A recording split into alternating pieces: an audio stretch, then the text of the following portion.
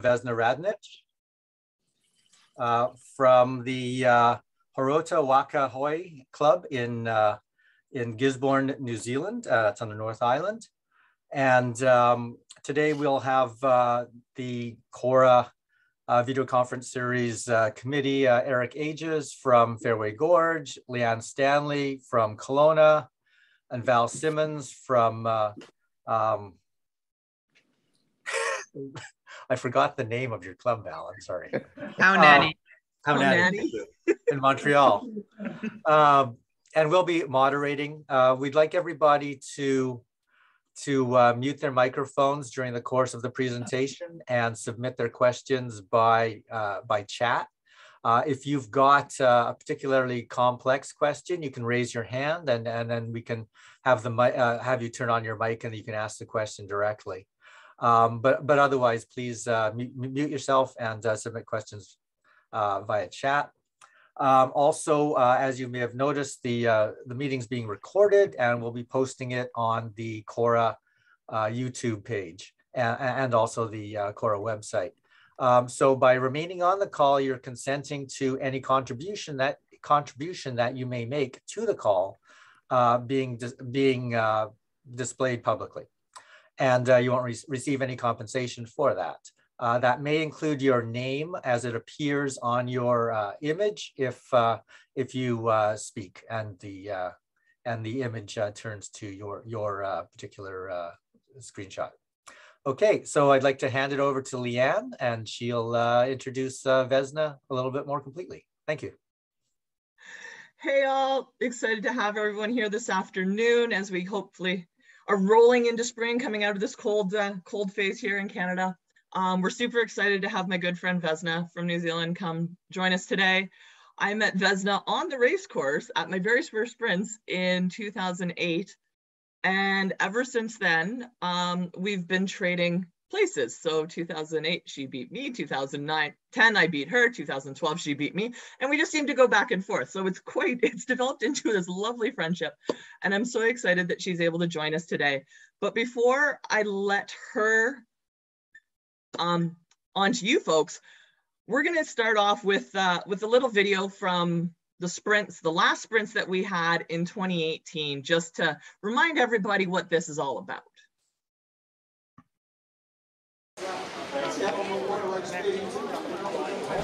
Ladies and gentlemen, we have the Elite Women's V6 500 final. Lane 1, Hawaii.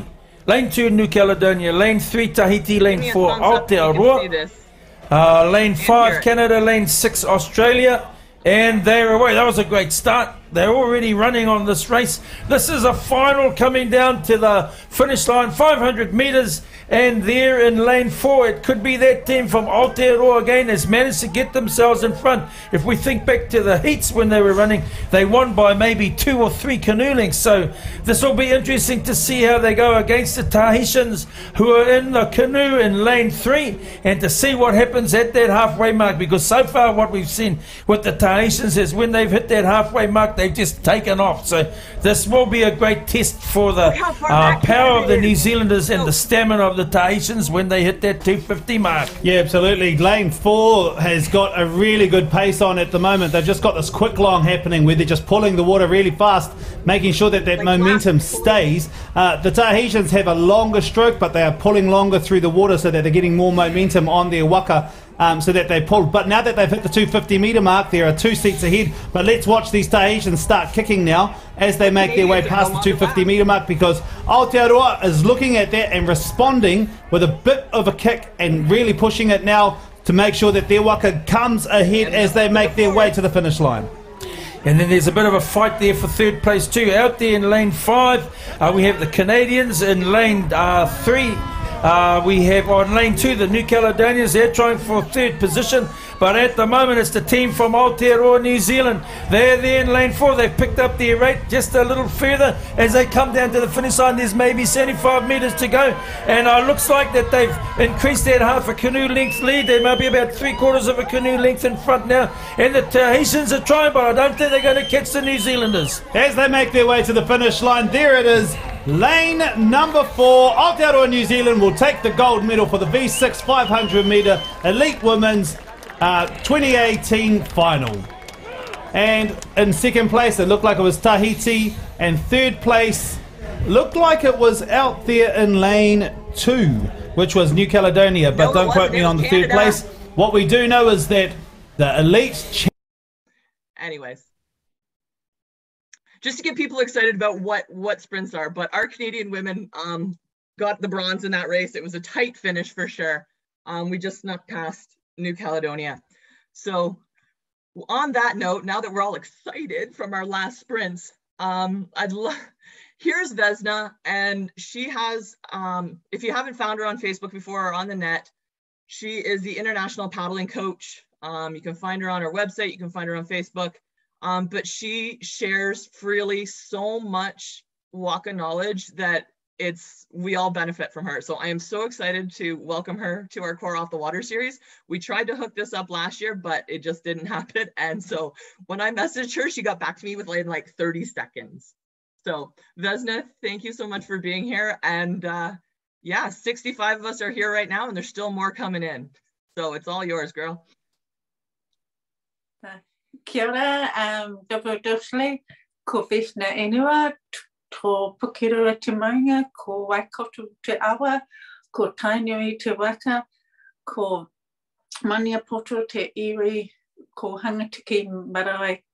Kia ora, kina tātou, kina tātou, kina tātou tō. So just uh, ngā mihi, a big thank you to uh, all of you for being available today. Thank you, Leanne and to Rod and to Eric and to Valerie for the opportunity for today. Um, yes, I've been fortunate um, to know Leanne since 2008 Worlds, so that's a good, what, 14 years of peddling friendship. And that is the one thing that I the one of the main reasons I love the sport is because of the friendships that you build around the world, and you get to rekindle those friendships every two years at the World Sprint, bar last year. So, uh, just a big, huge thank you. Um, a big thank you to you all, just again, for making yourself available. I hear that the sprint season is opening up very soon. You've got a couple of races on the calendar. So what a great way to begin the sprint season with a few little tips and um, paddling tips to help you all. So just um, a bit about me. I've been paddling about 20 years. Um, I live in New Zealand in a place called Gisborne. I'm a mum of two babies, a three-year-old and an eight-year-old. I'm proud of them because they both go to Māori speaking schools. So they speak Māori, English, and Croatian, which is my other background. Um, I learnt to paddle in Australia, Sydney. I fell in love with it because I said to the coach that I wear hearing aids, and when I paddle, I can't wear them. And she said, "Not a problem. We'll just put you in at the caller." And I'm like, "Sweet. What does the caller do?" They're like, "Okay, you call every 12 strokes. You call a hut, and then we change sides." And that's the reason I fell in love with it because she didn't have my hearing disability be a disadvantage. She just looked at me and said, How can we make it work? So I'm really passionate about the sport, not just at competitive level, but at entry level. I find a way to make it work, to include everybody, because it's one of the few sports that is inclusive. We now have the adapted division in the sport. So yeah, I've been paddling 20 years. Um, I lived in Australia, learnt over there, got homesick, came home, and then I learnt that if I stopped the drinking and cut back on the partying a little bit, I could become a good paddler. So I let go of some of those recreational habits and um, became, became quite passionate into the sport. I started excelling in New Zealand and then I went to Tahiti and I was like average. And it's just that's just culture shock for me because in New Zealand doing well, but I go and race over in Tahiti and Hawaii and did average. So at that point, I was like, no, I want more. So 210, I won the New Zealand title and I wanted to win the world title. So about 2011, I moved over to Tahiti because back then they were the best in the world. And to be the best, you got to learn from the best. So damn, I had to go and live over there. And I loved it. And I fell in love with it even more because it made me realize that it wasn't just about the paddling, the technique, the training. It was the connection that they had. Um, they had absolute respect for the culture. They had respect for the va'a, for the people. And the best, best way they explained it to me was, I said, what does paddling mean to you? And they said, it feels like when we put our paddle in the water, that our ancestors are coming through the paddle, through our arms and into our body. And as we're pulling, we're pulling with them because they've got that absolute connection of who they are and where they're from. Look at the Canadians. You have a strong background in water sports. It's your natural genetics. And so that's what I really learned about the Tahitians is that connection. And so then I went on to come to Canada 2012 and won the world title. And that's almost 10 years ago. Um, so it's just been an amazing experience. 10 years on, my passion has been more now to give back to others and share the knowledge. Now, the things I share with you, they're not 100% that way. They are just the things that have helped me to become the paddler I am today. So the stuff I share is just the stuff that has helped me. Just one moment, just one moment. Sorry. Like all true Zoom, Zoom meetings, our children, our pets love to join us. So no, by all means. And yeah, it was um it was a fantastic event for those that weren't able to make Calgary in 2012. It was um an absolute joy to be able to host the World Sprints in Calgary. Um, there were so many moments in that for so many people um, over that week that will stay with many of us forever. And it was, uh, yeah. Anyways, it was uh, it was cool to see Vesna knowing that her training she'd taken it to that next level and moved um, to learn from the best of the best. That's kind of where inspiration hit me as well um, to kind of carry on the journey that I'm on. And yeah, Vesna, I hope your kiddo's okay. It's all good. I still remember meeting you. I still remember talking to you. I just, yeah, I, I can never meet by the tent up where the back where we had all the country tent. I can remember meeting you there. So just your inspiration back to me then, and you're still an inspiration because I do follow your journey a lot. So just thank you, thank you, thank you. So, so that was my little bubba. Um, so yeah, 212 won the world and then I wanted to give back and give more. Now I thought once I had babies I stopped paddling, but no, that doesn't happen. You just keep paddling. So that video you just watched was 2018 Worlds. At those Worlds, I was six months pregnant with my baby girl. Um, baby and I made finals in the V1 500 Master Women, and we came back with three silver medals we went on to do the Aitor, which is the 14 kilometre rudderless race, came in the top 10 and a second place in the Master Women. And um, my baby, I talked to baby a lot when I raced. She was the one that, how do you say, dictated when I could push or when I couldn't. But what the appreciation I had was living in Tahiti. It taught me about the connection that when you're paddling, you're paddling with your ancestors, you're paddling with the water. So I'm able to incorporate that into the paddling. But moving forward, I'm here today to share with you some of the sprints um, secrets and tips. And I guess Leanne asked us about the sprints because in New Zealand, the sprint is our biggest event of the year. It's for six days it runs from 7 a.m. in the morning till 4 p.m. every day. We've got an average of 50 races every day. The youngest is up to five years old. The eldest is 82 years old. Um, we have up to 45 open women team. I think there were 36 master women team. Just to give you a bit of a gauge of the level that it is in New Zealand. And the reason it's so popular over that time is it's done over the Christmas break, the summer holidays, So most people are taking breaks from work, kids on school holidays, and it gives them something to do over the summertime. Our little town, Gisborne, Horouta Waka Hoe, we have won the Club of the Year for about the last five years. And at the World in Tahiti 2018, we won the Club of the Year at the World Championship. And it's largely due to the fact that we have a small little town, one set of traffic lights, and we're a water bounded little town, and our children need something to do on the school holidays. And we are what we call a lower social economic town.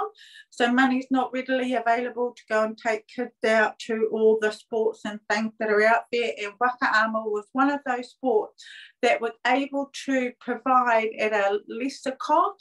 So therefore, a lot more children got involved. It also created water safety, water knowledge, and also brought the cousins, the uncles, the aunties, the families all together.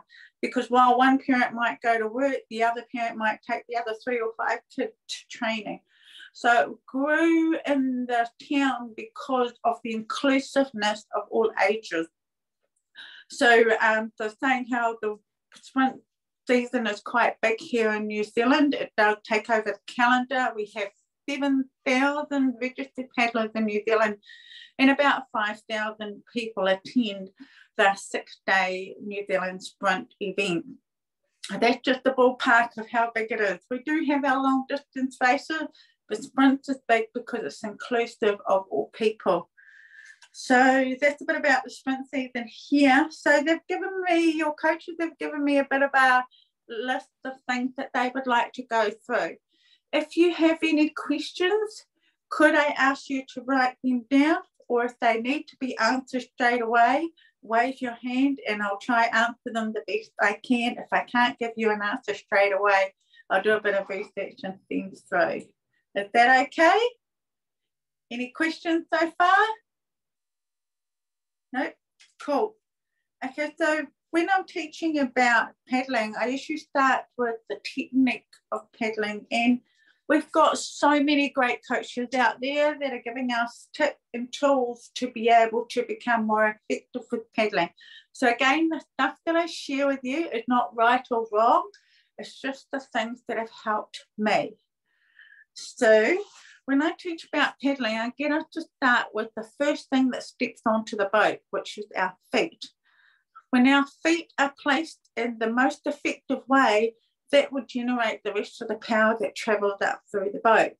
Your foot placement is the first and most important thing when you're paddling. When I place my feet, I find the flattest part of the va'a or the outrigger. Why do I find the flattest part? So that my feet can be nice and flat. If I take my foot up to the side, it's going to make my ankles roll, which is going to cause a discomfort in my leg. It's really important that you first start with a strong placement or foundation in the boat. So what I've got, I've got a chair behind me. I'm just going to step back and show you what it looks like.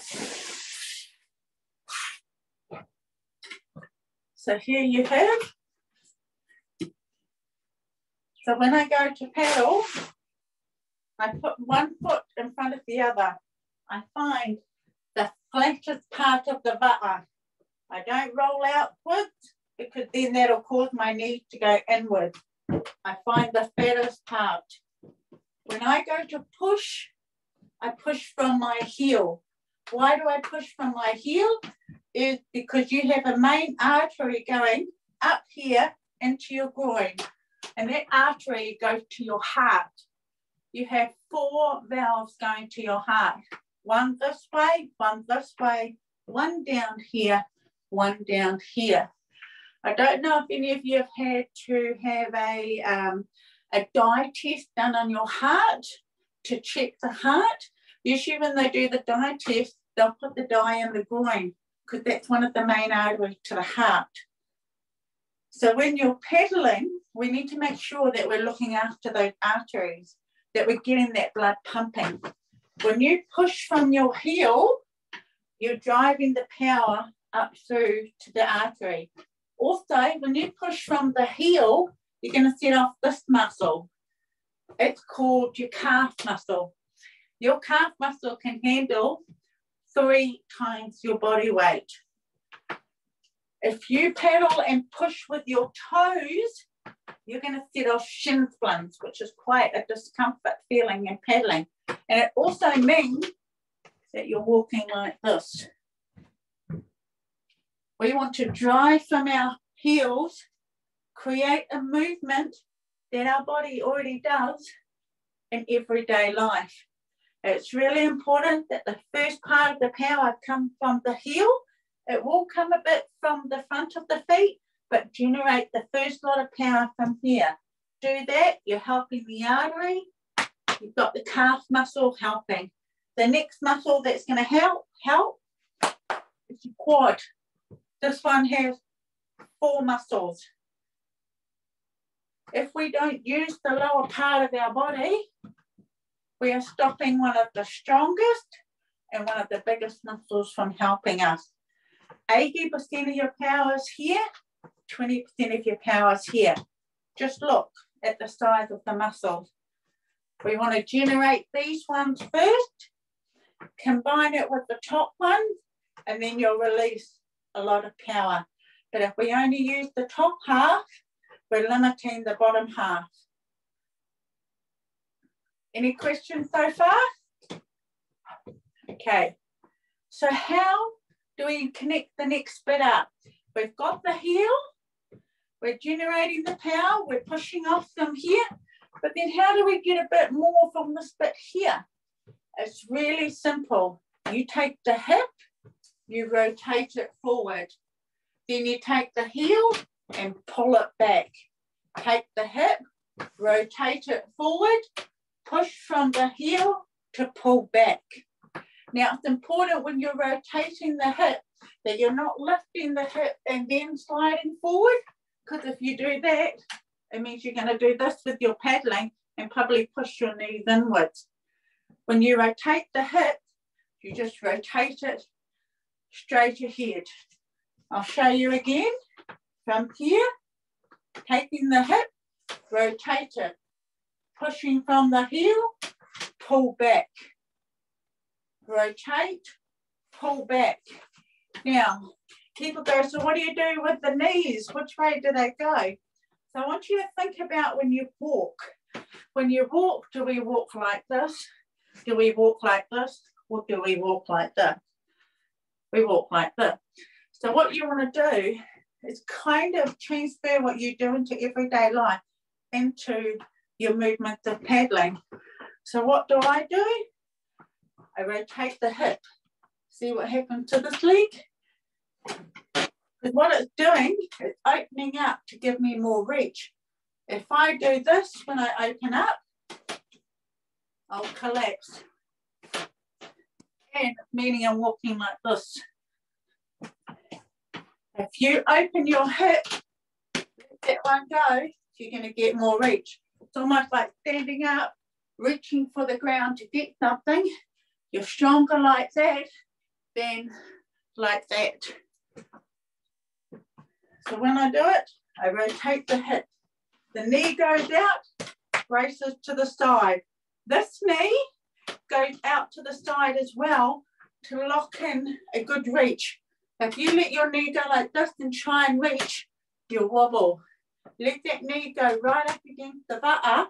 And as you pull back, watch what happened to this knee. Come back to the center line. Reach out, and then it comes back to the center line. Same with this side here. Pull, and then it comes back to the center line. Don't force it to stay out because then it's going to be a little sore and um, pain in your hips. Just open the hips to reach forward and then let it come back to its natural position. Any questions so far? Making you think? If you want to practice it, just go practice it, grab a chair, because sometimes people show you and then you're like, hang on, I want to try it. I'll show you the other side. So I'm putting one knee forward. I'm going to close my eyes. I'm going to rotate and then pull back. So The greater the pull, the greater the power. So what I mean by that is, if you sit on the edge of your seat and you try and do it, you're only going to go so far and you're going to rub those bone muscles raw. Because if you're sitting on the edge, you can only go so far. I don't know if you've seen those top teams, they do this nice, big, long power. If they try to do it on the edge of their seat, only get so far. To be able to get more power, you've got to sit back on your seat, rotate the hip, and then pull back. Rotate, pull back. Okay. Sorry. Sitting on the seat, rotate, pull back. So the more you rotate, the more power you're going to generate. If you're sitting on the edge of your seat, you're limiting your power. Sit on your seat to generate as much power as you can. So then you're like, okay, so I've got these hips working. How am I going to connect the upper body down to the lower body? Well, the hips are the connecting, what we say, connecting element. So if the hips are the connecting element or the driving force, you need to let the hip help dictate the rest of the body to move forward. So what I mean by that is use the hip to return the shoulder rather than return the shoulder, then return the hip. It's a disjointed movement. Use the hip to help the shoulder to set up. Use the hip to help pull the paddle through. Use the hip to help the shoulder return, then use the hip to help pull the paddle through. If you do that, it's more of a natural movement. So, for example, if you did boxing, you wouldn't stand in boxing and go, no, we use our hip to do it. In hockey, they hockey, they don't just stand there and pull, they use their hip. Golf, the same thing. They're not just standing with their arms and then their legs. They're using their hips, their legs to generate the force. So the same without pedaling.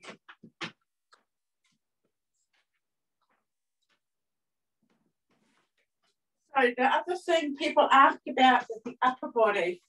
What happens with your arm? So here's the thing.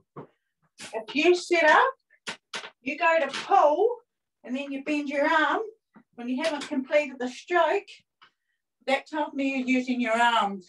The moment your arm bends, that's when your arms take over the stroke.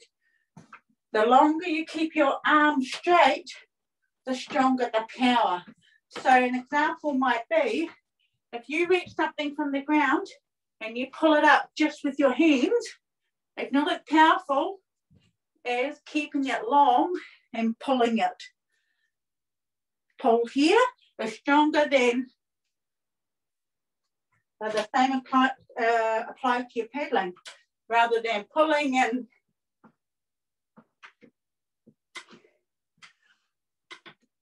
Now your arm is going to need to bend to get the blade out. But rather than try and physically bend it and then return it, I say let it come out and then return it. If we try and chop it to the front too quickly, we might impact the boat run. We want to place, pull, and then let it come out. So I do a little slight raise and then return. So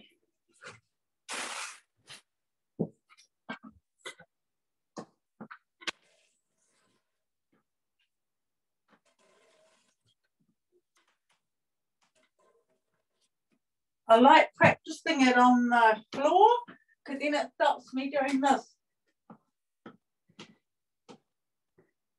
The quickest way from A to B is in a straight line. This will make your waka go forward. This will make your waka go up and down. You want to keep a control of your top head. When you place it, place it in. Pull it back. What should I do on my return? So you notice I don't grip on the return because if I grip, it'll shorten the return and make a lot of work. When you loosen it, you enable yourself to lengthen and rotate. Okay, posture. So when people are pedaling, you see this happen, you see that. And here we have our heart, we have our kidneys, we have our lungs, we have our biggest oxygen capacity, we have our spine, our vital organs live in here. If we do this during a race, it's going to impact on our vital organs. We're probably going to get about 70, 80% out of them because we're hunching, we're cutting them off from being able to do their job. When you sit up, strong posture, your vital organs can be at their best for you. You also have your spine that runs up here. On each of those vertebrae, you have muscle fibers running off them. That muscle fiber here might be talking to this knee. That muscle fiber there might be talking to that shoulder. If they're all sitting on top of each other and they're good and they're strong and they're straight, they can communicate to your body. But if we start to bend those vertebrae, that's going to interfere with that communication and that's when it's going to start developing some extra little movements in our paddling. It's important that we take care of our spine and keep it strong. And with doing it that way, you'll become a, more effective with your paddling. And I learned that a lot after I had back surgery. So on my back, I've got 21 stitches. I had that surgery after the World 2016. I grew that much taller, yes. But if anything, I learned the importance of having the posture strong. I learned that if I let it go one way or the other, it's going to impact on my paddling. Leading up to the World 2016 was really painful, really, really painful.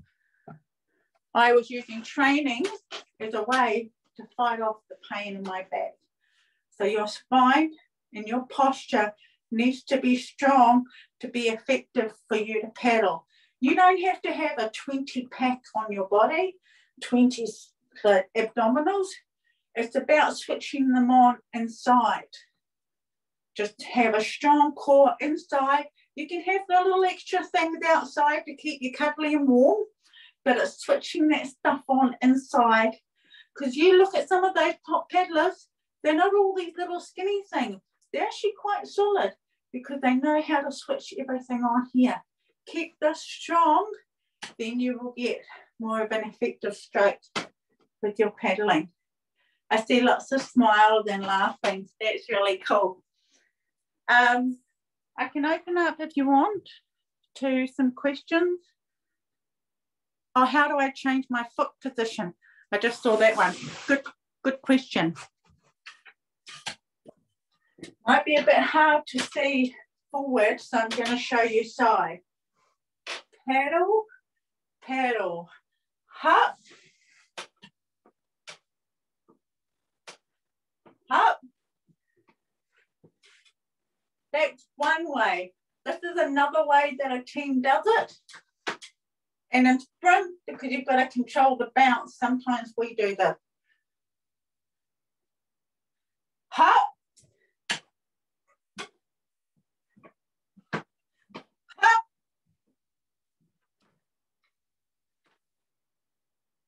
Did you get that? So when the hut call was made, we brought our feet together, then we changed over. Because sometimes we would find when we did a hut and we all changed, then it went bounce. By sliding, then together, then changing, created a bit of a, a smoothness. Did that help? Cool. Anyone got That's awesome, doesn't it? you if you want to move into some of the sprint specific type stuff like everything you've talked about is about generating power, which is so key in all paddling and sprints, especially. But if okay. we move into more sprint specific stuff, I know you've got hours worth of knowledge that you yeah. want to share. That, that the basics, yeah. That's, I just want to touch that. So sprints, I don't know if you've watched rowers and kayakers, they all do different strokes and each of those strokes have a purpose. So for example, when you go to start the boat up and out of the water, you want to go straight into a fast or a power. No, you use a stroke that would help to lift the boat up and out. You want to imagine that you're like a jet ski and you're revving the boat out. So what most people will do is they'll do three to four full blade strokes. So what that means is they're going to sit up. I won't be able to do it because it's too shallow for me. They sit up and then they do a full pull past their hip. Then they return. They do another full one past their hip, but a faster return because the boat's already up and going. Then they'll do another third stroke a little bit faster and a faster return because the boat's already up. The purpose of the first three or four is to get the boat up and going. Once it's up and going, we're going to move into a stroke that's fast and just going to keep it humming along for a little while. And so that's the one they might call a wind, a speed, a rate, a fast. So for that one, that's one of the few strokes that uses a lot of the arms. Because you're using the little muscles, the movement's a lot faster. Once you start bringing these ones in, the stroke starts to slow because you need more power. So usually after the first three, they go into what we call a wind or a fast. So for this one, you've got to make sure your knees are braced out to the side, not locked, just braced out. You need to lock forward. I don't know if you've heard people say that. Why? Because this one's quite fast. If you're moving up and down, it's going to make the boat go up and down. Yes, you need to lock your body forward, set it up, and pull it to about your knee and take it out. Pull to your knee. Now, why do I say to you about your knee? Because as soon as you pull past your knee, you're asking this one and this one to help with the stroke, which is actually more of a power and open stroke. The fast or the wind is to get the boat fast and winding up. I'll show you what that looks like. Sit up and then wind. I'm doing it really slow. Now I'll show you what it looks like fast. Vesna, do you want me to show a video of the start from Horouta in 2021 sprints? So they can see it? Do you want me to show a start of a race from your club team from uh, 2020? okay fast. It is really yeah. fast. It's really fast. And when you're locking your body, it's preventing that bouncing of the boat. It's important to lock the body when you're doing it. It's important the entry. You can choose. Some people do a half blade, some do three quarter, some do a full, full blade for the wind or the rate. For me, I've been teaching my one a full blade every stroke. Why? Because if we say it's a half blade, you need to probably put black tape or some tape on your pedals so you know that you're all entering out and at exactly the same place. If you do half, three quarters, that's a lot for your brain to think about. I just say to them, full blade every stroke. Then they don't have to think about those variables, but it's what works for your team. If you go, hey, we do the half and it hums, it gets us going. Do that. The stuff I share is the stuff that's helped me, but it's about you finding out what works best for your team. Cool? So we do the first three, and then we go into our wind. We usually do this for about two sets, and then we go into what's called a power or an open. So what happens there is we open up our body, sit up a bit more, rotate, and then pull back to our hip, bringing in our hip. So the wine comes down at the knee, The power or the open comes out of the hip. Now it's called the power or the open because it's got lots of power. Then there's another stroke that some people bring in after a couple of sets, and it's called a long. So a long, simple, past your hip. So wind, fast comes down at the knee. Power, open comes out at the hip. Long goes past the hip. So the long also uses a lot of legs. Long, long.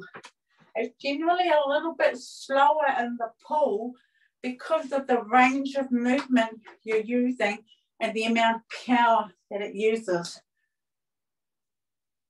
Any questions so far? That's just three strokes only.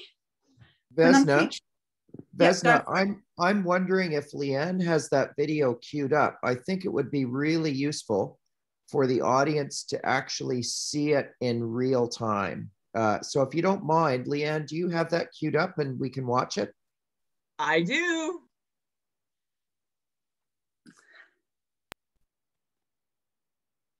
Oh my God.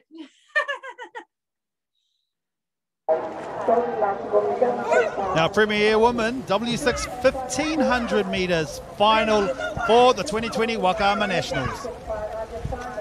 Is we turn to lane one. Kaiara Hitoa, Horouta, opening pace. Quite astonishing. Into lane two, we have Tanifa Roto Wahine. Into lane three, Manus and Jemimas. Ki te ara tuawha, ia huke mai te karapu o te pairangi. Anei ko poe tiare. E tahi o ngā kaparongo nui tēnei tau. Ki te ara tuarima. Ko PC, KC, te pua i nāno. Nā, ki te ara tua ono o maroro. E te waka paunamu. Wete kia whitu. Wairua o te onu, wahi. all of these teams uh, have champion paddlers in them and they all know what they want to do. This is a premier women's 1500 metres, so that is five turns in this race as Horouta Waka Hoe make the approach to this first turn. Out there in lane seven as well, it looks like Wetekia from Wakaama, no sweat, there from Kiwi Campbell. She's just let that waka go straight around, and they are already out by at least three or four um, strokes, which means that waka is probably going to be one waka length ahead as they leave that 250 metre mark. Cool. Thanks. That was cool. That was really cool to see that up there. So thank you for that, Leanne. So you can see how these are different strokes the big thing also to notice is how everyone, about 90% exactly a mirror of each other. So the top teams, you'll notice they're very similar. The teams that are not at the closest lanes of lane one, you'll notice that they've all got their own little thing going on in the waka. It's really important that when you're doing your different strokes, that all of you are practicing it, you're filming it, you're getting coaching from it, but you also can see yourself because you want to have six exactly the same. When you have six exactly the same, entering and exiting and moving exactly the same, it just flies effortlessly. But once somebody decides, well, I'm going to pull longer, it's going to impact on the rest of the boat.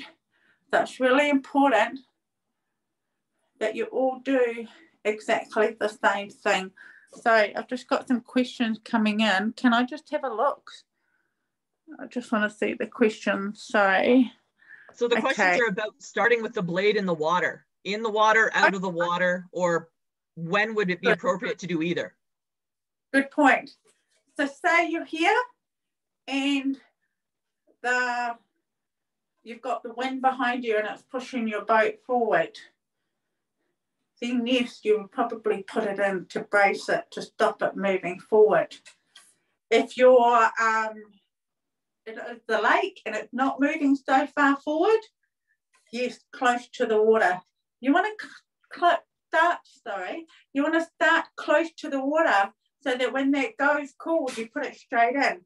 If you've got one person here and the other person up here and you call a go, the one that's up here will get a delay in their pull. So when you set up your start, you've got to do whatever seat one is doing. So if seat one's got theirs here, you start yours there.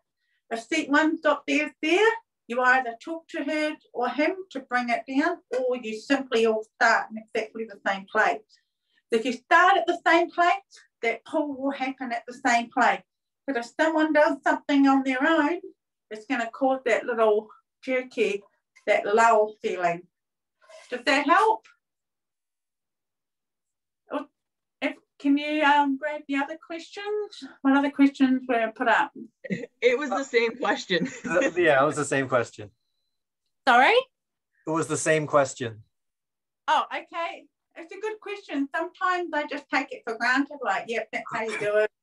Not till you bring it up, then I make you go, hang on, slow down, bring it back to simple stuff. Um, so I just did a couple of strokes. Those are three strokes. I used to teach them just those, and then the finished stroke used to be a collective of all three of them. I know used to say that the reason you do the three deep, the wind, the open, the powers, and the long is to build your finish stroke, which is that the finish, and that finish stroke is a collective of all those strokes. Those strokes are warming you up for your finish. So with that in mind, when you've got your 500 meter race, I used to think you just get in and paddle till you can't paddle anymore and get past that finish line.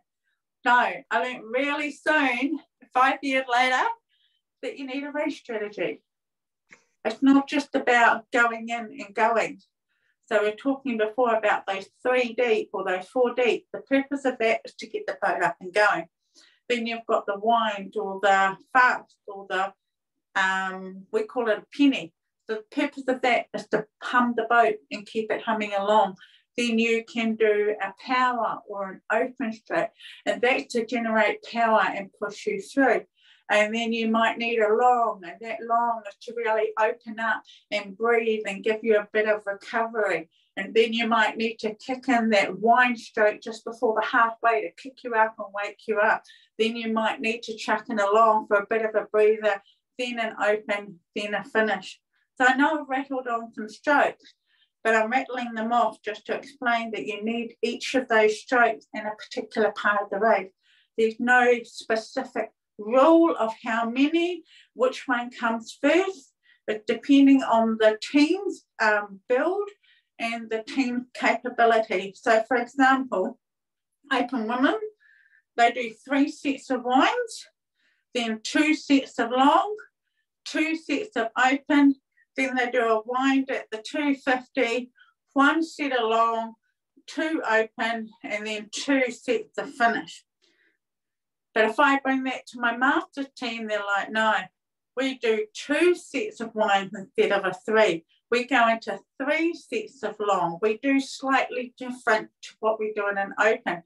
When you go into a J16, be ready to have a heart attack because they go far. They're little firecrackers. Their strategy would be slightly different to what you would get at a Golden Masters level.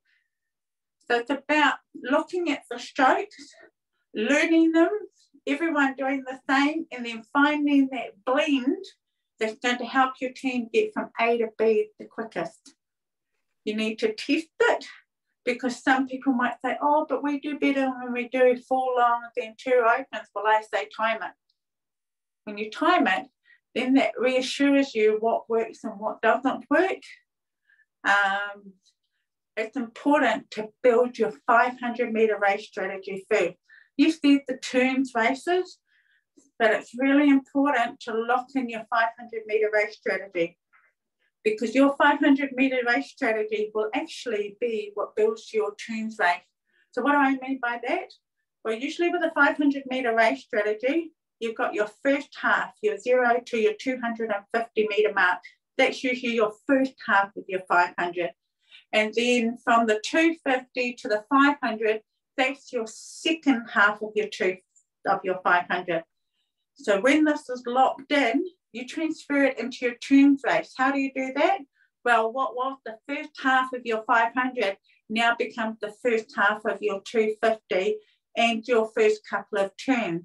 The last half of your 500 becomes the last half of your turn finishing part of the race.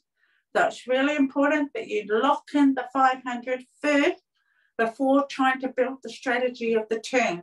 You still practice your turns while you're learning with sprint, but make sure you've got that 500 locked in first because that stuff will build what becomes the turns race. Cool? Was there question? Are there some questions I missed? Yeah, Vesna. The question that we have is how do you ensure a quick switchover? So from side to uh, side, how do you ensure that it's quick and together? We do the fast changeover drills. So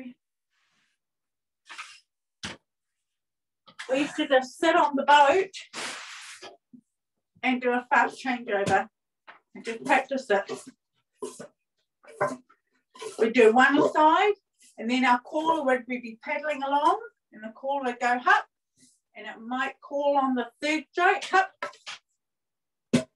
So we would practice it in the boat. You think about the speed of your um, changeovers has to be the speed of the return part of your stroke. So if you're doing the wind stroke or the fast stroke, it needs to be a fast changeover. When you're doing your power stroke, it's not as fast as a changeover as the wind. How do you also get faster is sitting in a chair at home and just practicing fast changeovers. So I'm going to stand up. There's another drill I do. My head might cut off where I just stand there and I go like this. And then I'll say, ready, set, go. Then back to easy. Then go.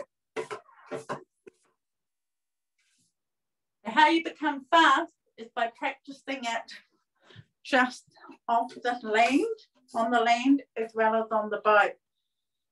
You'll get used to getting numbs in here, but it will help you to become faster.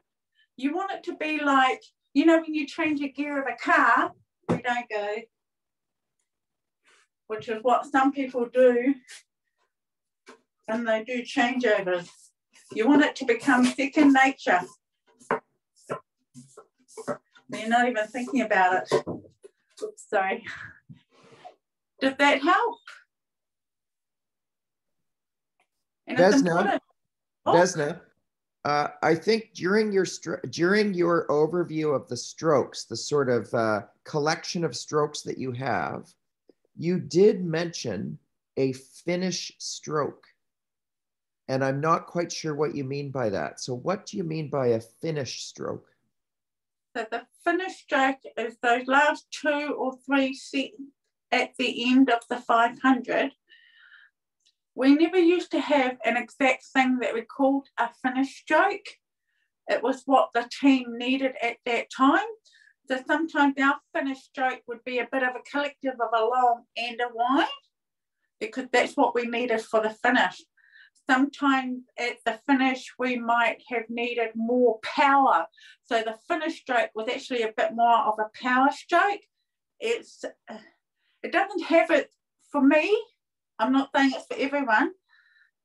To me, it doesn't have its own name. It's a collective of whatever that team needs. It might be keep it light at the finish where you're actually doing more of a wind. And we've done it that way one time. And then another time we've needed to dig it deeper and become like a long, but also a power at the same time. It's that feeling that you get that you know that you need it for your team to do the finish, to get to the end. It's important that your set one knows how to feel what's happening behind and give them the team that give the team what they want. So you want someone in step one that's going to set the whole team up. So for example, if you had someone quite small in one and then two, three, four, five, six with solid, strong girls, if that seat one decides to start going extremely fast, that's not going to be good for the rest of the team. Your seat one needs to look at the strengths that are in all those seats and go, what can I give my team that they can give back me power or have my back? They've got to remember that there are five other people that they need to pull in a way that their team's going to be able to pull and feel that they can give them power. So Vesna, there's a question in the chat saying, so who calls the strokes or if you're changing or is that a set plan or are you all just following seat one? So we, everybody's job to know the race strategy. That's the first thing. We don't put the pressure on one person because anything can happen out there. There's so much yelling that you might only hear the hut, but you missed what was the strategy because of the yelling. But if you know in your head this is coming up, you can focus on that. So that's the first thing. Everybody needs to know the race strategy. Um, we usually have one, three, and four. Between those two, one calls the hut and the other person calls the strategy just to spread the load. So usually between three and four.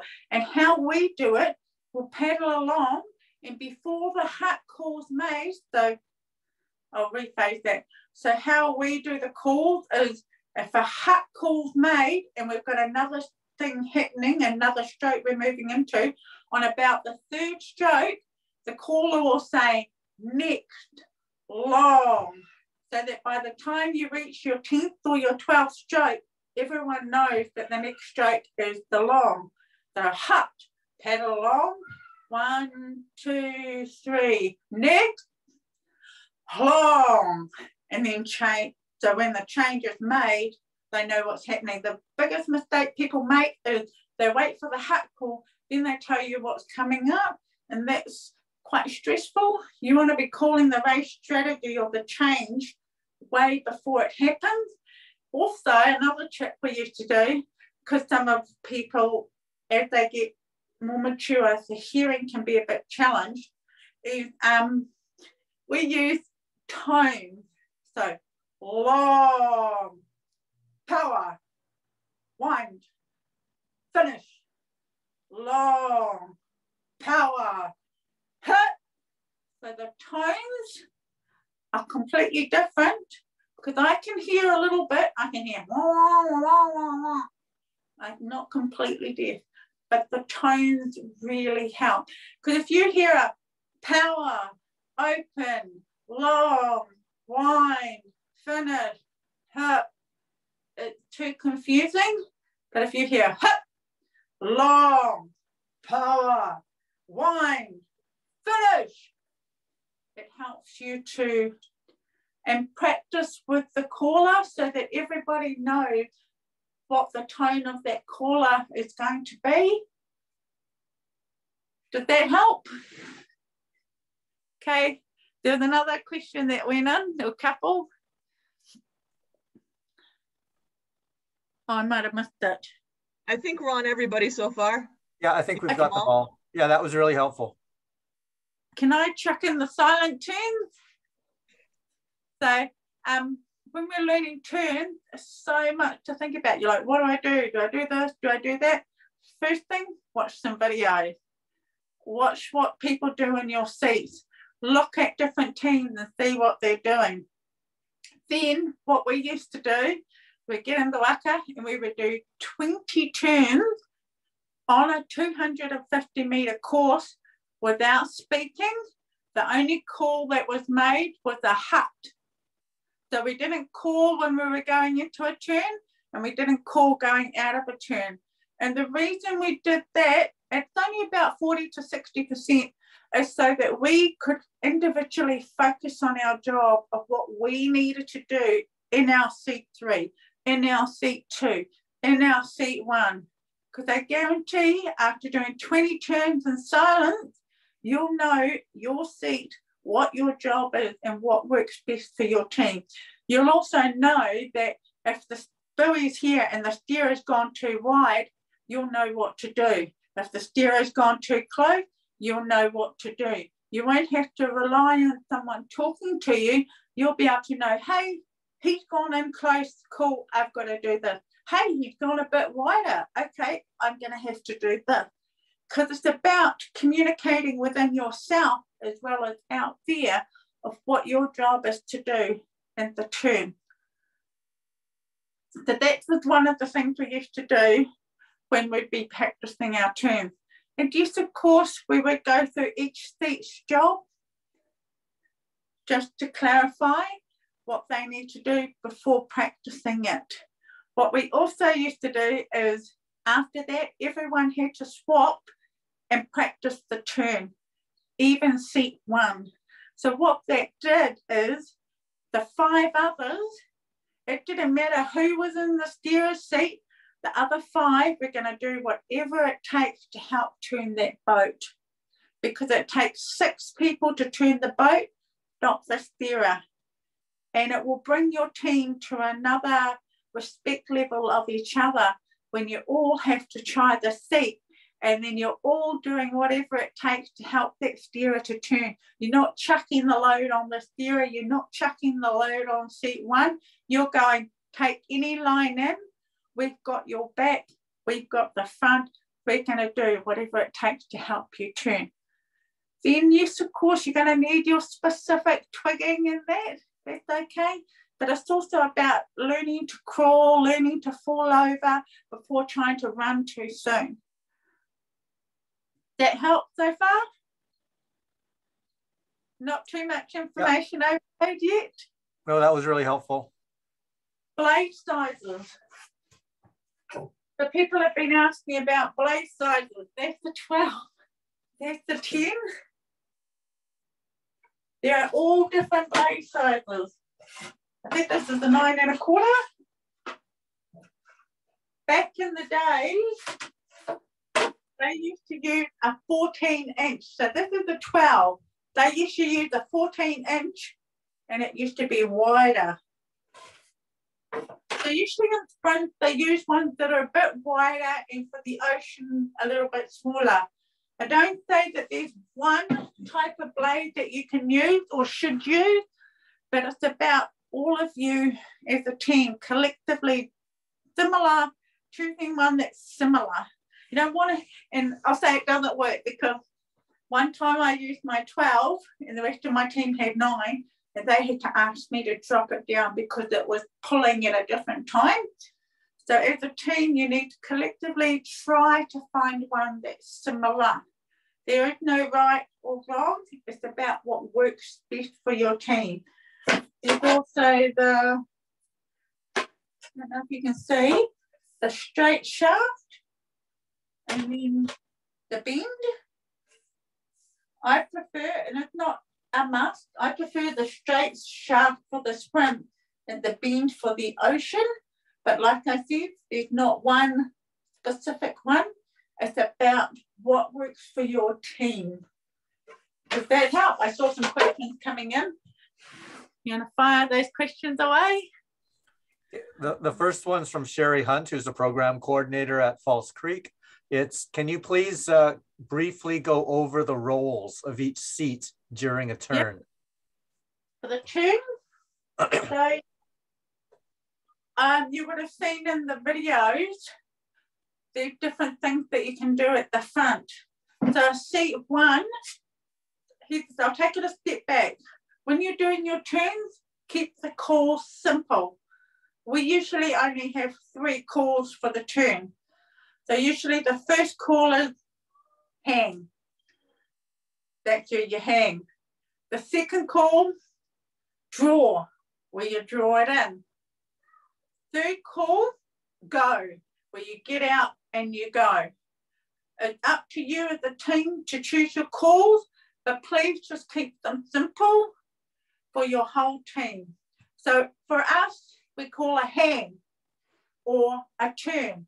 So if a hang or a turn call, seat one either can only from the front or they can hang from the side.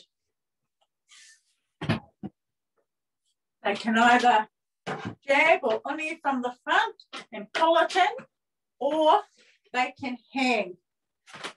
Um, you, have, you have to practice this one. You've got to be very quick and good at it just be mindful that this pressure can sometimes snap the blade. So some team put a spare blade in seat one for this movement. So up to you, make sure that you practice it. With the hang, I you to think about the hang. If you hang like this, do you think that's, sorry, is that effective? That's hard. If you just brought it down to here and hang, you've actually got more control and brave. This is harder on the body. This enables you to lock yourself more. Also, if you do this, you might tend to lean a bit more, which is going to put pressure on the ama. Hang on, it's the opposite way around for you guys, isn't it? I'll change sides just for you. Okay, so if you hang like this, you're going to more than likely put some pressure on the ama pushing it down, which is going to make it harder to turn. Whereas if you sit like this, you've locked, you've got more control, and you're actually pushing the blade down rather than lunging the body and putting the weight on the ama. You push the blade down, which means you're not pushing on the ama, you're pushing the blade down to brace it. So usually when the hand call's made, seat one does this or that. When the jaw call's made, they going to be a bit hard for me to do here. They draw, but what you want to do, you want to draw using your hip. You don't want to lunge to draw, because if you do that, you're going to push on the ama. When you push it down, makes it harder to turn. So when the draw call is made, you want to push it down, send the blade, the wash of water under the va'a, and what should happen? It should come out the other side. You don't want to push and press the water against the butter because that doesn't help. You want to take that water and send it under the boat. Does that help so far? Yeah, you, you had the sides right the first time. you had the sides right the first time. Yeah. And then when a call is made go, you simply get out and you go. Yeah. Hand or turn Jaw, go. Seat one. Hang, jaw, push down, push down, go. So usually going into a turn, we used to make seat one of the ama side going into the turn. So when the turn call was made or the hang, seat two would have to come over to go in with seat one. Because if you have seat one, seat two, seat three, seat five, and possibly seat six, all on the other side, it's going to cause a bit of drag. So we try and keep as many as we can of the non-ama side to keep the ama light. So going into a turn, we usually have the seat one on the ama side, seat two on the non-ama side just before the turn's about to happen, usually seat two will come over, or sometimes seat two will wait for the turn and then come over. But it's about practicing as a team and finding what works for you. Seat two's job is to make sure that the ama is really close to the buoy. We call it kiss the buoy they almost become, seat two become like the handbrake. There's the thing that handbrake that the back flips around. Seat two is to lock it in. So one thing I do, hard, I should have had a video for this one, is when I used to be in two, I would come to the back of the seat and I would go hang and I would reach this right up against the kiato because there's so much shaking happening from it turning that it's hard for me to hold it out here. I used to just simply press it up against the counter and that would give it that break and that brace. But it's up to you. I'm not saying that the must. If you find coming away from the counter is fine to help turn it, that's okay. For me, I used to just lock it in, turn, draw, go. Um, so now, did you did you change the angle of your blade at all depending on what the boat yeah. needed at from the front? Do it on the opposite side to you guys because I'm not used to. So when I would do a turn, so turn, I would drop it backwards, and I would this had to be under the water. Nothing was above. Because if this was above, it would cause a lot of shaking and it will stop it from turning. When it's right in, it just uh, to, just to flip it over and jab it straight in. And then start to draw. And the, the, side, the, the side you're on now is the same as ours, same as us. Oh, same? Oh, sorry. Yeah. yeah. So the side you're on now is what we do. Oh, sweet. That makes it better. Sorry, I didn't realize. Sometimes it comes out on the opposite side. So hang, draw, go. Now, notice that being in seat two, I had to change side because going into the turn, seat two is usually on the opposite side. So going into a turn, we go in, and then we're near at the buoy. Only I change, seat two, turn, draw, go. And I would change over. So what do seats uh, three, four, and five do? So three job is to push the power through on the turn. The longer you, what you want to do is you want to have so much speed that your one and two is hanging and three and four are pushing it through. Right. And only two draws and go. If you come and start drawing too soon, it's going to impact on how quickly it turns. Because the moment the blade comes out, the waka goes off. If you can hang for as long as you can, do so. And three and four's job is to pump it through. When they've pumped it through, you should only need to do one or two draws before you go back in. So three and four are pushing it through three and four need to be watching it and pushing through. Five, they will do what seat one and two does. So when that turn or that hen call's made, they go and do that. When the draw call's made, they do it. And then when the go's called, go.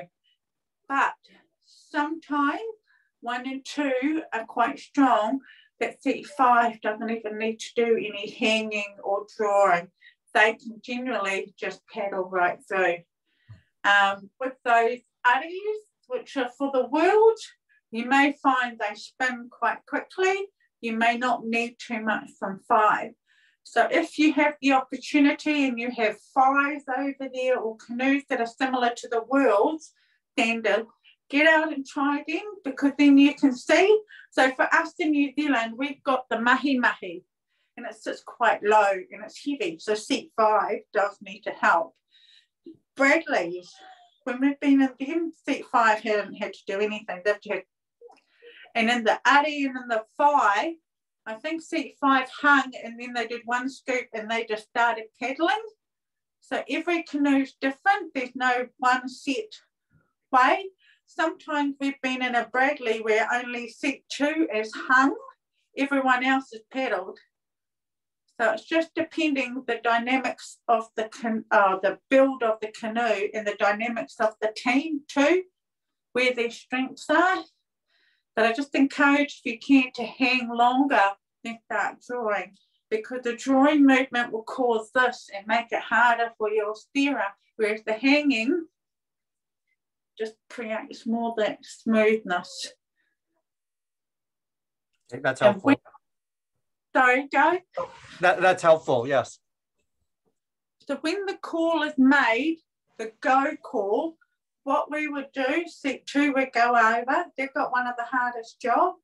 we would go like we were going to do a start and we would go one, two, three, hut, and then change. Now, the reason we did that is because if we didn't change, we would have been on the same side going in, going out, and kicking out. And that's quite um, a lot of work on the body. So we would go in on one way, and then when the call goes made, we would go one, two, three, hut, change, and so we're fresh going out.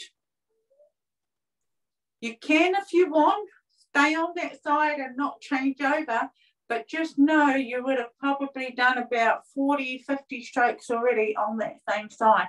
And if you want to get out of the block, it's about choosing what works. But you guys might go, hang on, we actually do better staying on that side going out. That's okay. Just test it, time it. That will let you know if it's working.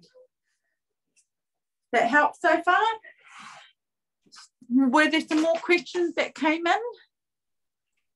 Yep, there's one here, Vesna, that says some paddlers think they should learn the Tahitian stroke is fast to be faster. Is there really a different stroke that the Tahitians do compared to other folks? Well, you think of a lake. Do Tahitian paddle the same stroke in a lake as they would out in an ocean? It's about looking at your environment and paddling to be able to get the effectiveness out of that. So paddling 15 Ks in New Zealand on the ocean would be like paddling 20, 25 Ks in Tahiti because their water is light.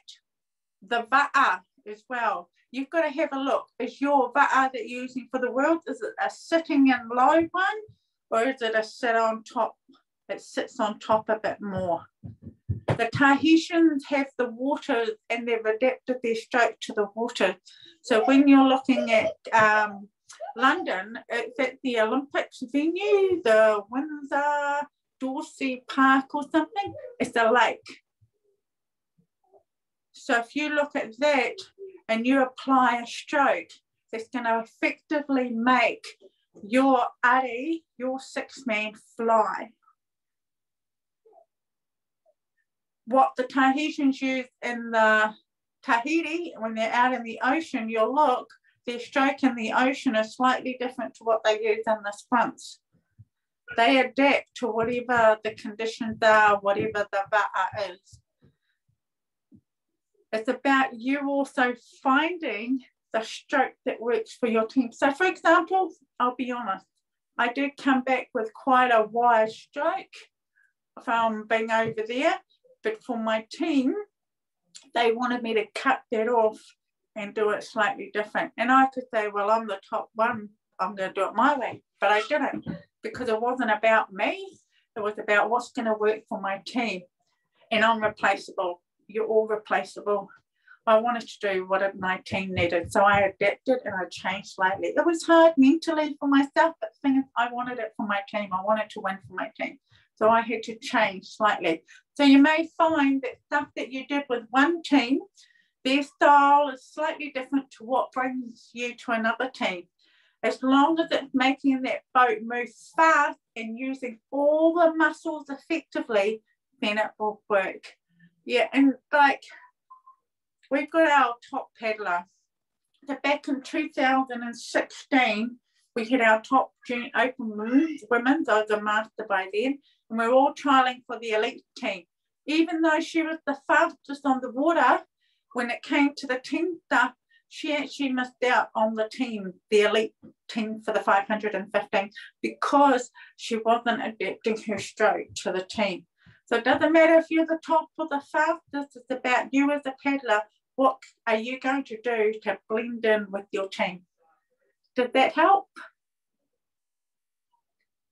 Very much so. And I think those are wise words from sprints to distance to life is that, you know what? The team is bigger than you as an individual. It doesn't matter if you're the top or the bottom, the team has to come first. Yeah. And it is that. And sometimes it's been a bit hard for me when I know that these other strokes work. But for me, it only worked for me. It doesn't always work for the other five. And I want to win with a team. It's more fun winning with a team than winning on your own. And I'm speaking from experience. I love more now winning with a team, winning with those that I coach, than winning one on my own. It's just that feeling how beautiful it feels, that cohesion, that hit and that glide. And that's what makes it more enjoyable than an individual race. I completely agree, and this is one of the reasons why we're kindred spirits and we get along so well. Is we we feel the same way about those kind of things. That is, we've been up to the top as individuals, but the value that we get and the the value, the purpose, and the fulfillment we get from helping others and coaching others and seeing them thrive um, is a wonderful thing. And unfortunately, we're coming down to the end of our time with Vesna. Um, we've got a few announcements from CORA that we need to make, but does anyone have a final question or Vesna, do you have any final words for a couple minutes? Yeah, I any think we're pretty much everything. It's I've just got my little my little list that you guys gave me yesterday. Nothing else. No, I haven't seen anything. Is there anything else anybody else might have? All right, we got one from Sherry, and we'll see if we can answer this in, you know, three minutes or less. It says, what okay. about the time of season to train certain strategies? So it's like when we're just getting onto our cold water for a lot of us here in Canada, we're not going to be training the wine stroke at all because one, the water's cold and heavy, and we're just getting back onto the water. So are there certain times or certain phases that you folks go through for training? It's depending if you've got races that are sprint specific. So like for us, in the 9th of April, we have the World Sprint Trial for the one name. So at the moment, I'm having to reintroduce some of the sprint stuff. We usually do it.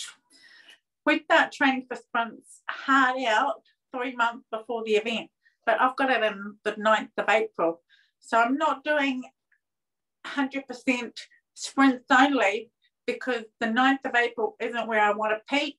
August is where I want to peak. So I'm doing some component of it, but I'm continually moving through it. So when I say that, it might be a wine, then into a long, then into a power, but over 10 minutes. It's not until we get closer to May, June, about June, July, then I'd be doing 20 wine strokes, stop. 20 wine strokes, 20 long, stop. So it's closer to the venue, um, not the venue, the event that you work. So 12 weeks out is where you want be doing the most intense. So at the moment, you should be doing endurance. So in the off season is endurance. Then the purpose of endurance is to build your paddle fitness up, drop some weight if you need to weight, drop the weight and build your cardiovascular fitness. Then you move into your strength phase. So after you've got rid of the weight you don't need, you need to build some muscle strength. That's where you do your muscle or your strength phase. Then you move into your speed phase because you need your cardio fitness and you need your strength to be able to work on the speed. And that's why that one comes last. That speed stuff is about eight weeks, 12 weeks before World. And then you need to have a minimum of a week taper before the event not training up and then three days lady, you've got the world sprint, seven to 10 days of tapering off. That's your rest, that's your recovery, because you want to rock up to world and be so amped up and ready to paddle rather than, oh, I'm so tired, I haven't had enough recovery. So it's important to have a training program, having three weeks on, one week off, three weeks on, one week off. When you get to the speed stuff, it's usually two weeks on, one week off because speed is quite intense. I'm talking fast because I know that you've got a bit of limited time left. That's it in a nutshell. Uh, one, one topic we touched on in our pre-meeting yesterday was um, how, how, uh, do you, how much do you train together in your set crew before an event? Yeah, you're talking about um, team training, crew training, then race crew training. Right. So we should our squad. I'll be honest, three times a week at the moment, two, three times a week. And that's with the same crew in uh, the race crew in your seats, in, in your race seats? We don't do that at the moment. We just focus on just, we sit in any seat. Right. It's not till about probably if we had an event coming up in three weeks, not a world event, mm-hmm. then we'd probably fall into our seat. but we usually sit in any seat. Right. It's not close to a race event that you do. So if you're doing worlds, it's at least 12 weeks out, you would already have your seats locked in 12 weeks out. Mm-hmm. But be willing to, if you have to, change seats.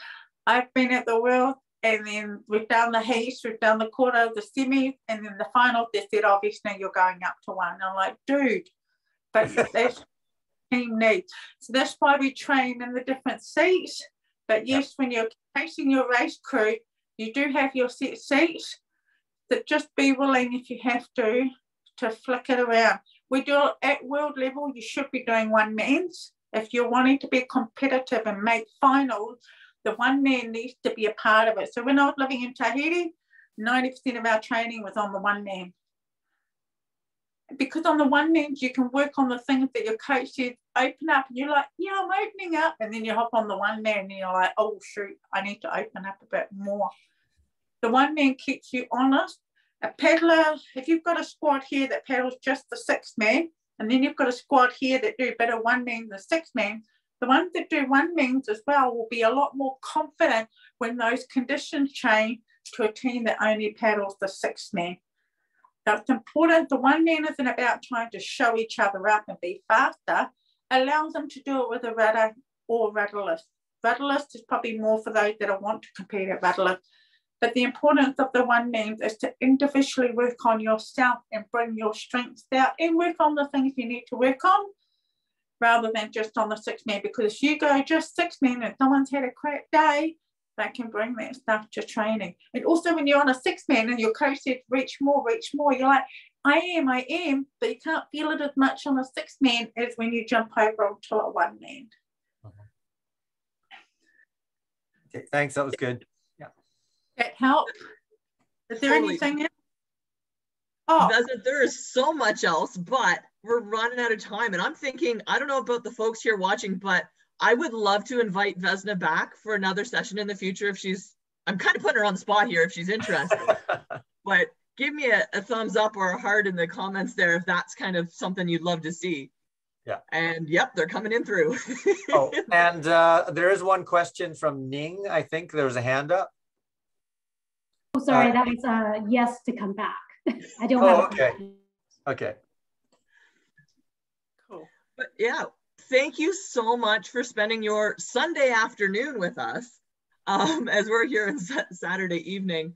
Um, Vesna, you know I love you. I am so excited to see you in London. Um, for all our Canadian paddlers and everybody here that is gunning for world sprints, um, they are on. Um, they've got enough intent entries in entries that uh, that we're going to go. So you're going to be seeing some stuff come out next week about Team Canada. And uh, Eric or Ron, do you want to share the big news about it's on our CORA schedule, but I don't think we've officially announced it yet. Well, there, there are two uh, sprint events coming up. The first is uh, Fairway Gorge's uh, Kan-U-Hakit on March the 6th.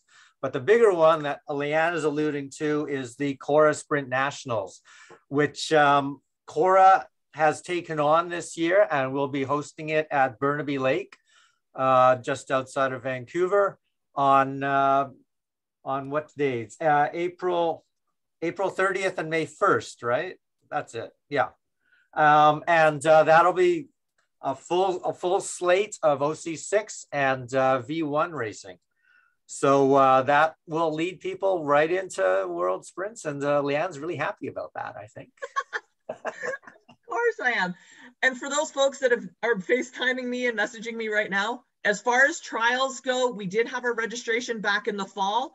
Our CORA IVF meeting team is going to be meeting. Um, so there, we may or may not reopen registrations, but there are trials scheduled for tentatively for Calgary, May 14th, 15th, but we'll see how the CORA nationals plays into it.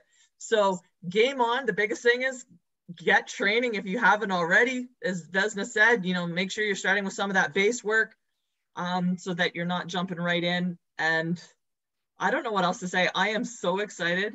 And yeah, I can't wait. Eric, any final words from you? Uh, yep. Uh, I just want to really thank Vesna as a, as an avid sort of sprinter who's going to be racing next uh, weekend in Victoria at Kan-U-Hakit. Uh, I want to just sort of revamp our entire race strategy to, to, match what I just learned today. So it's like, uh oh, we only have so many practices left. So I really had a great time. For those of you who have friends that you think would have benefited from this session, it will be uh, available on the CORA website uh, probably by tomorrow, uh, tomorrow afternoon. So the entire uh, workshop will be on the website and we'll send out a note to everybody in terms of the website and on Facebook uh, that it's uploaded and ready to go. So I would encourage you to share it with your teammates because it may, well, I'm pretty much sure it will, uh, improve your race strategy for 500 meter sprints and for other sprint formats as well. And uh, I know Vesna won't be here, at least not over the next few months.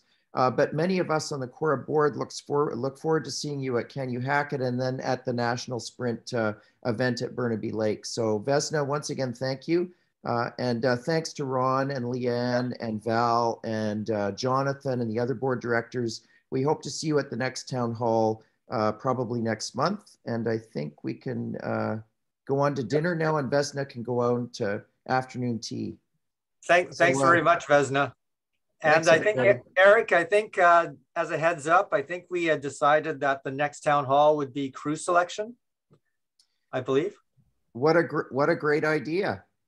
No, I, I, thought that's what we had decided. Anyways, so the next town hall will be crew selection sometime uh, in March. And uh, th thanks again, Vesna. We're looking forward to uh, speaking with you again at some point in the future. Uh, All right. Could I just say, um, can I send a survey through? Because I'd really like to get some feedback from everybody on how it went today. And feel free to visit my website, internationalpaddlingcoach.com. All right, Vesna. Vesna, we'll make Vesna, we'll make your survey available uh, on our website tomorrow. Okay, bye everybody. Thank you very much. Bye.